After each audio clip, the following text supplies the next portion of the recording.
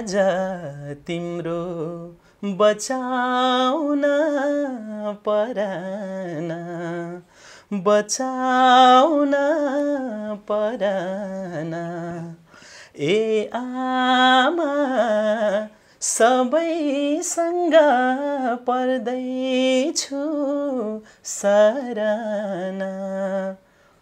तिमी आकाश तिमी मेरो जुन। टिकटकमा आउँदाखेरि होइन यस्तो कस्तो गाएको होला। कस्तो आफैलाई मलाई यस्तो मैले यस्तो गाएँ भने त म त के अरे भनौँ न एउटा के अरे सबै सामु कसरी मुख देखाएर हिँड्ने होला त्यस्तो फिल चाहिँ हुन्छ मलाई चाहिँ।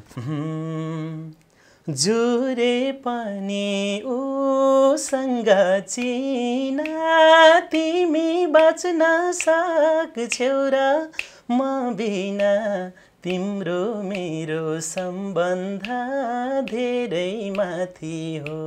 जति पनि देश विदेशमा देश देश विदेशबाट चाहिँ मेरो आमाको लागि जस एकदमै हृदय खुल्ला गरेर सहयोग गरिदिनु भयो सबैजनालाई थ्याङ्क यू सो मच भन्न चाहन्छु। बरु मलाई खसाल देऊ भिरबाट। हो हो हो, हो बिन्ती भगवान् मुक्ति देऊ फिरबाट हाँसो खुसी आँसुसँगै साट्यो जिन्दगीले। विशेष गरी म पनि दाइलाई हृदयदेखि नै थ्याङ्क यू सो मच भन्न चाहन्छु। भाइलाई यो अमूल्य सहयोग गरिदिनु भएकोमा थ्याङ्क यू हे मन्दिर छ र देउतालाई पुजेको तिमी छेउ र यो मन बुझेको। यो आमा बचाउने अभियान चाहिँ यहाँहरूले गरिदिनु भयो यहाँहरूलाई थ्याङ्क यू सो मच यहाँहरूले सहयोग साथ सपोर्ट दिनुभयो। यहाँहरूको साथ सपोर्ट नभएको भए आज म टुर पनि हुन सक्थेँ होला। नमस्कार यी नेपाल मिडियामा यहाँहरूलाई हार्दिक स्वागत छ। आज पनि म एक विशेष अतिथिको साथमा यहाँहरूको बिचमा हाजिर भइसकेको छु। विशेष गरी प्रत्यक्ष लोकदोहोरी भन्दा पनि प्रत्यक्ष दोहोरी गायन मार्फत यहाँहरूको मन जित्दै अगाडि बढ्नुभएका र इमेज लोक कलाकार सिजन टूका पब्लिक चोइस अवार्ड समेत हात पार्नुभएका अत्यन्तै मिठो आवाजका धनी पुर्ख्यौली घर गोर्खा हाल चितवन बसोबास गर्दै आउनुभएका लोकदोहोरी गायक शीतल गुरुङसँग आज म यहाँहरूको बिचमा छोटो मिठो कुराकानी प्रस्तुत गर्दैछु। यहाँलाई धेरै धेरै स्वागत छ यी नेपाल मिडियामा। धन्यवाद कुशल कार्यक्रम सञ्चालक अनि कुशल सर्जक गायक अनि मेरो प्यारो मित्र बालकुमार श्रेष्ठज्यूलाई। अनि यी नेपाल मिडिया हेरेर बस्नुहुने सम्पूर्ण दर्शक श्रोताहरूलाई म शीतल गुरुङ तर्फबाट हृदयदेखि नै साङ्गीतिक अभिवादन टक्राउन चाहन्छु। आजभोलि निकै व्यस्त पनि हुनुहुन्छ एउटा पारिवारिक फन्दामा पनि पर्नुभएको छ। यतापट्टि दर्शकहरूको लागि दिनहुँ जस्तो लाइभ दोहोरी रेकर्डिङमा पनि कुदिरहनु भएको छ यहाँको व्यस्तता अत्यधिक बढिरहेको छ। ठ्याक्कै भन्नुहोस् अहिले के गर्दै हुनुहुन्छ अहिले? पछिल्लो समय चाहिँ। अहिले पछिल्लो समय चाहिँ अब त्यही हो विगत तिन महिनादेखि अब आमा बिरामी हुनुभयो होइन। हजुर। त्यही आमाको उपचारकै लागि चाहिँ अब भनौँ न उपचारको लागि यताउता गर्दा गर्दै तपाईँ। परिवारको एक्लो छोरो? होइन एक्लो होइन। म जेठो हो। हजुर। मभन्दा पछाडि जौले भाइहरू छन्। भाइहरू सानै हुनुहुन्छ। सानसानो भनेपछि जिम्मेवारीको हिसाबले अहिले आमाको उपचारको लागि एक्लै खटिरहनु भएको छ। जोस् भाइहरूले नि सपोर्ट गर्नुभएको छ घरबाट। हजुर। जोस् म चाहिँ यता चाहिँ म आफै भनौँ न। आ, अहिले आमाको स्वास्थ्य अवस्था कस्तो छ र विभिन्न मिडिया मार्फत पनि हाम्रो दर्शकहरूले थाहा पाइसक्नु भएको छ। विभिन्न सङ्घ संस्था व्यक्तित्वहरूले यहाँलाई सहयोग पनि गरिरहनु भएको छ। र सहयोग पनि जुटिरहेको छ। त्यही क्रममा आज हाल अमेरिकामा रहनुहुने लोकप्रिय लोकदोरी गायक सर्जक आदरणीय विमल डाँगीले यहाँको निम्ति केही सहयोग रकम हामीलाई नेपाल मिडिया मार्फत हस्तान्तरण गर्नुभएको थियो। सोही रकम यहाँलाई हामी प्रदान गर्नका निम्ति आज यहाँसँग छोटो मिठो कुराकानी म गरिरहेको छु। र अहिले ठ्याक्कै आमाको स्वास्थ्य अवस्था कस्तो छ क्रमिक सुधार भइरहेको छ भन्ने मैले चाहिँ एउटा सुखद समाचार पनि सुनेको थिएँ। हाम्रो दर्शकहरूलाई बताइदिनुहोस् न के कस के कस्तो सर्वप्रथम त अब यी नेपाल डट कम हेरिरहने सम्पूर्ण दर्शकहरू श्रोताहरू होइन दे देश तथा विदेशबाट एकदम अहिले हेरिरहने सम्पूर्ण भगवान्रूपी दर्शकहरूलाई चाहिँ जस आमाको अवस्था चाहिँ अहिले धेरै ठिक भएको छ। यहाँहरूको साथ सपोर्ट सहयोगले चाहिँ होइन आज चाहिँ मेरो ओठमा पनि मुस्कान पलाएको छ। जस हिजोका दिनहरूमा म एकदम निराश थिएँ यहाँहरूले पनि देख्नु नै भएको थियो होला सायद। अनि अहिले चाहिँ जस आमाको सुधार देख्दा आमाको अपरेसनहरू सक्सेस हुँदाखेरि मलाई चाहिँ एकदम खुसी लागेको छ होइन। सम्पूर्ण दर्शकहरूलाई चाहिँ एकदमै धन्यवाद दिन चाहन्छु। कुनै बेलामा कलाकारितामा लागेर धेरै गल्ती गरिएछ जति गरे नि केही हुन्न भन्ने थियो।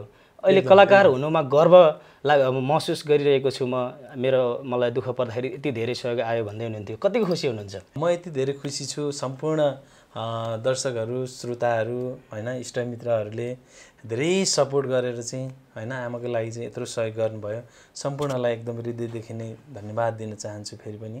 र म एकदम खुसी छु किनभने म यो क्षेत्रमा लागेर हो। अब मैले चाहिँ केही गर्न सकिएन जस्तो फिल चाहिँ मलाई आत्मग्लानी चाहिँ भइरहेको हुन्थ्यो जहिले पनि। अनि त्यसपछि अब कसैले मलाई चिनेकै छैन कसरी होइन अरूमाझ कसरी चिन्ने त्यो चाहिँ मलाई एकदमै कौतूहलता भइरहेको थिएँ तर पनि अब अहिले चाहिँ अब भनौँ न यो आमाको यो उपचारको लागि सहयोगी हातहरू फिन्जाउँदाखेरि सम्पूर्ण दर्शक श्रोताहरूले चाहिँ जस यो पनि कलाकार रहेछ है भनेर चाहिँ चिनिदिनु भएको छ। थ्याङ्क यू सो मच अझै के अरे सबैले माया गरिदिनु होला। यहाँहरूलाई मनपर्ने गीत सङ्गीतहरू अझै जस अलिकता खुसी भएर यहाँहरूमा अझै नयाँ नयाँ प्रस्तुतिहरू ल्याउने बाचा गर्छु। सबैले माया गरिदिनु होला भन्न चाहन्छु। पक्कै पनि। तपाईँको आवाज एकदमै मिठो छ मलाई पनि व्यक्तिगत रूपमा असाध्यै मनपर्छ र मैले तपाईँलाई व्यक्तिगत रूपमा भन्नुपर्दाखेरि अझ तपाईँ व्यावसायिक गायकको रूपमा ती अफिसियल व्यावसायिक गीतहरूमा अझै अगाडि बढ्न पर्ने हो। तर केही छैन पछिल्लो समय लाइभ दोहोरी मार्फत एकाएक यहाँ चर्चाको शिखरमा आउनुभयो होइन? जति तपाईँको मिठो स्वर छ त्यत्तिकै मिठा शब्द तपाईँले प्रहार गर्नु तपाईँको विशेषता। त्यति साह्रै त पछिल्लो समय यहाँले गाइरहेका दोहोरी अनि यहाँका सहकर्मी साथीभाइहरूले गाइरहेका दोहोरीहरू हेर्दाखेरि यहाँलाई के कस्तो लाग्छ? मलाई चाहिँ यस्तो हो सर। अब मैले चाहिँ के भन्छु भने म आफू आफ्नो मूल्याङ्कन गर्छु अरूको गर्न सक्दिनँ। जस राम्रो छ भने आफूलाई मन छुने खालको छ भने म खोजी खोजी सुन्छु त्यही हो। तपाईँले गाउँदै गर्दाखेरि चाहिँ पछिल्लो समय एउटा बजारमा गसिप चल्न थालेको छ नि? छाडा दोहोरी भए होइन भलगर शब्दहरू प्रयोग गर्न थाले। तपाईँ त्यसमा पर्नु पर्नुहुन्न होला आफ्नो ठाउँमा छ तर तपाईँको सहकर्मीहरूले गाएको त पक्कै हेर्नुभएको छ। मैले चाहिँ त्यस्तो दोहोरी चाहिँ हेर्दिनँ। हेर्दिनँ भन्दा पनि कहिले काहीँ टिकटकमा टिकटकमा आउँदाखेरि होइन यस्तो कस्तो गाएको होला। कस्तो आफैलाई मलाई यस्तो मैले यस्तो गाएँ भने त म त के अरे भनौँ न एउटा के अरे सबै सामु कसरी मुख देखाएर हिँड्ने होला त्यस्तो फिल चाहिँ हुन्छ मलाई चाहिँ।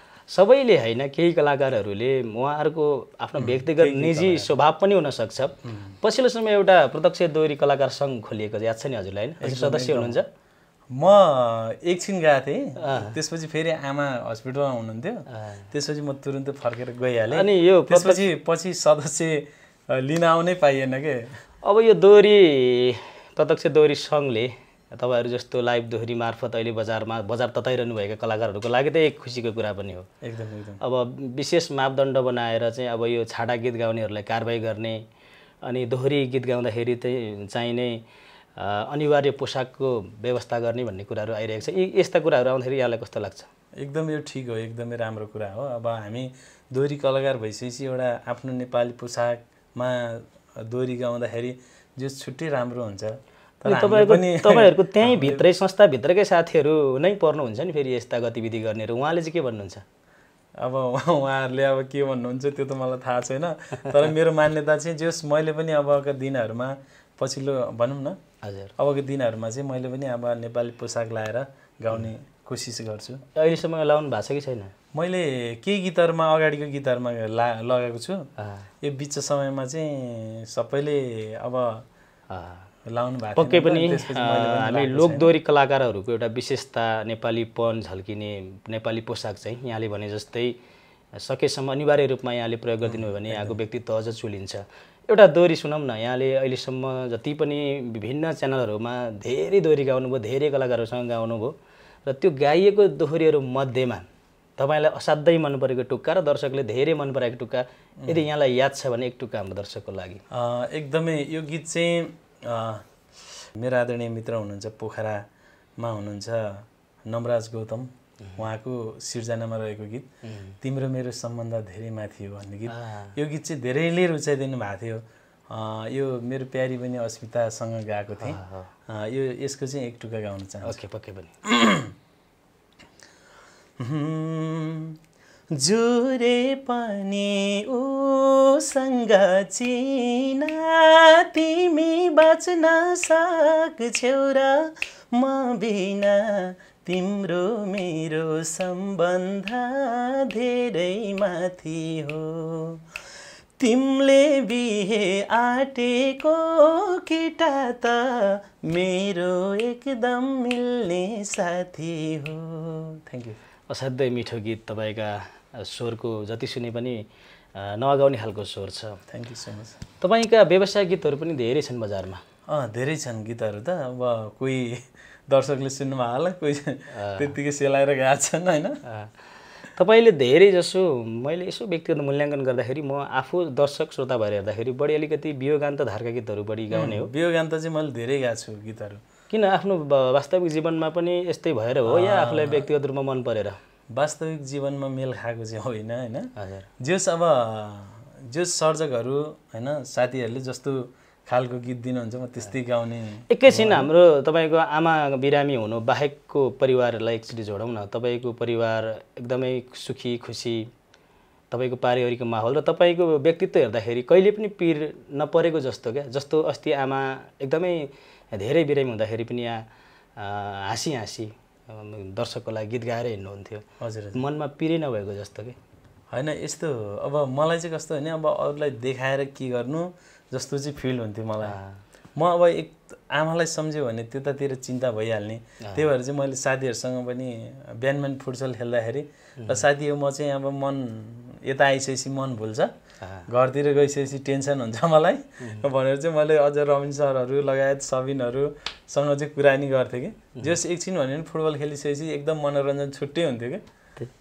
अब यतिको आवाज भएको मान्छे बजार तताउँदै गरेको मान्छे अनि यतिको ह्यान्डसम मान्छे माया प्रीतिका कुराहरू त धेरै आउँछन् होला। धेरै यहाँका शुभचिन्तक फ्यानहरू हुनुहुन्छ पक्कै पनि के छ? फ्यानहरू त अब हुनुहुन्छ होला सायद होइन? धेरैले माया गर्नु त भएको छ। अब त्यस्तो के अरे माया प्रीतिको कुराहरू गर्ने चाहिँ छैनन्। ढाँट्नु भयो जस्तो लाग्यो। छैन छैन। छैन। तपाईँले अहिलेसम्म ठ्याक्कै कति जति गीत गाउनुभयो? मैले पचासभन्दा माथि गाएँ पचासभन्दा बढी गीत गाउनुभयो। पचासभन्दा माथिका गीत मध्येमा एउटा मात्रै गीत गाउनुहोस् मैले भने भने एउटा मात्रै गीत चाहिँ अब जुन गीत तपाईँलाई एकदमै मनपर्ने। मलाई चाहिँ एकदम अहिलेसम्म गाएको गीतहरू मध्ये चाहिँ मलाई चाहिँ एकदम भनौँ न शीतल गुरुङ भनेर चिनाउने गीत चाहिँ मेरो आदरणीय दाई रमेश परियारको लय शब्दमा रहेको गीत ढाँटे जिन्दगीले भन्ने। त्यो गीत चाहिँ धेरैले रुचाइदिनु भएको थियो। त्यो गीत चाहिँ सुनाउन चाहन्छु। बरु मलाई खसाल देऊ भिरबाट हो हो हो बिन्ती भगवान् मुक्ति देऊ पिरबाट हाँसो खुसी आँसुसँगै साट्यो जिन्दगीले। एक पल हाँसो दिएर सायौँ चोटि चम्धारै रुवाउँछ। यसरी नै सधैँभरि ढाँट्यो जिन्दगीले।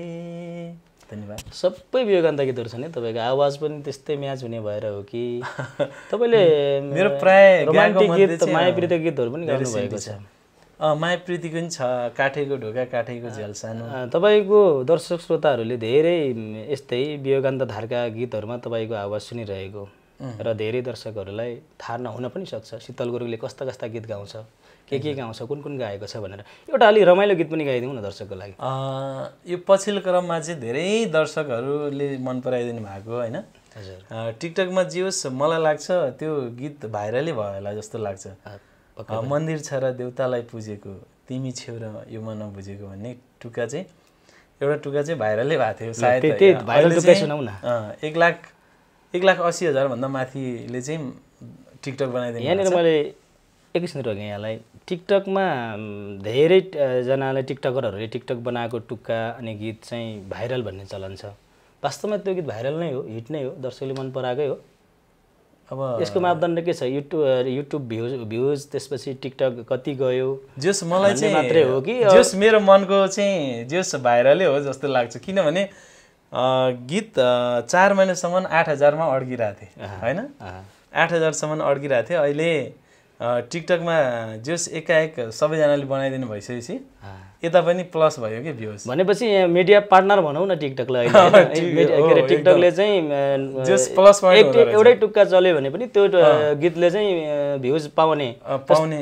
पाइरहेको छ, है? गीतले चाहिँ है? फाइदा भएछ त्यसमा टिकटकले। तपाईँ टिकटक चाहिँ कतिको बनाउनुहुन्छ?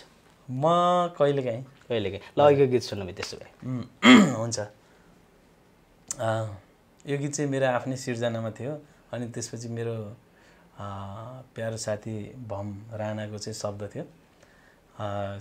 लय चाहिँ मैले गरेको थिएँ अनि मेरो प्यारी बहिनी सम्झना शिवकोटी र मैले गाएको गीत हे।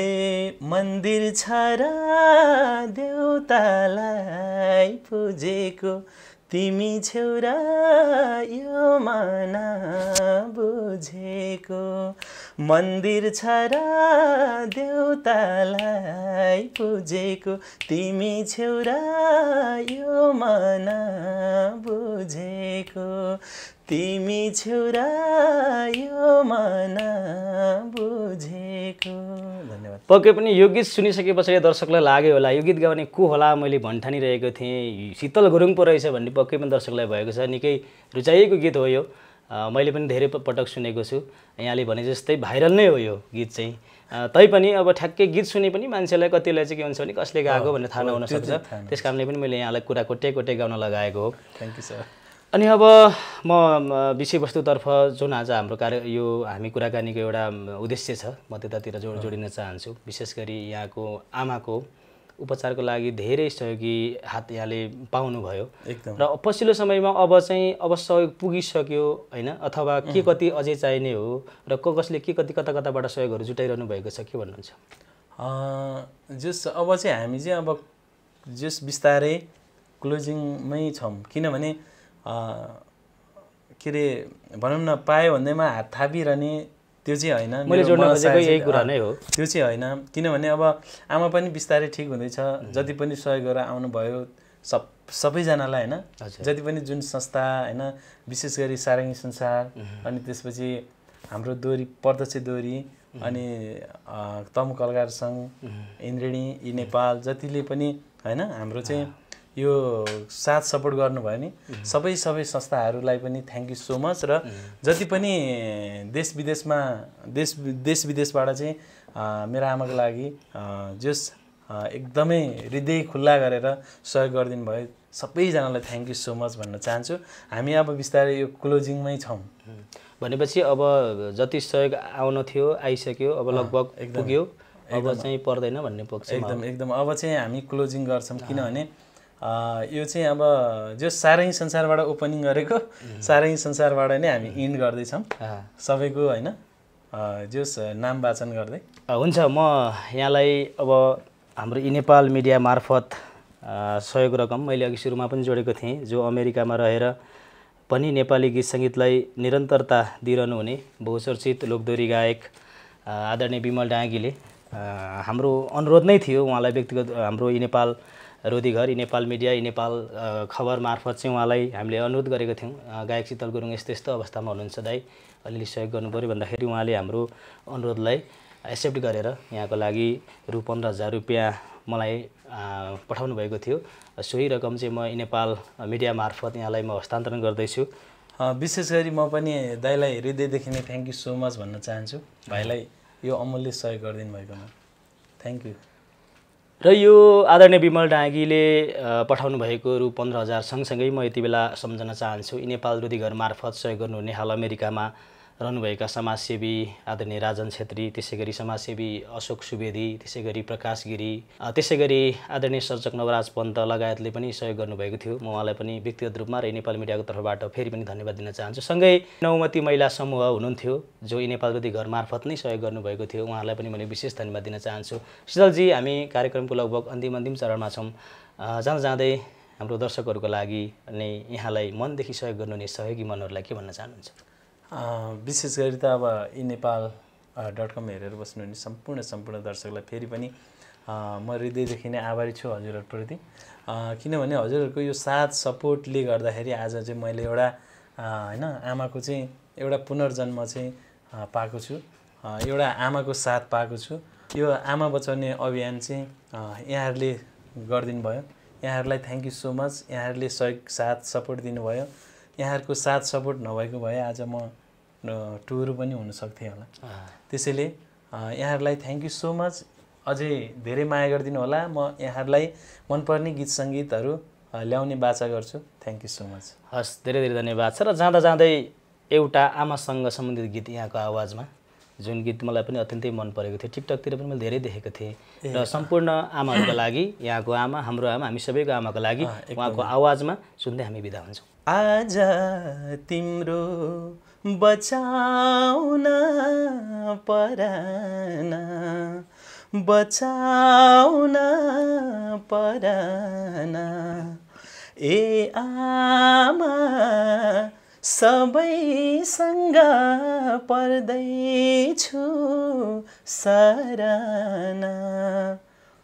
तिमी आकाश तिमी मेरो जुन ए आमा जन्म दिए हुर्काए बढाए कसो गरी तिरो मैले गुण? धन्यवाद।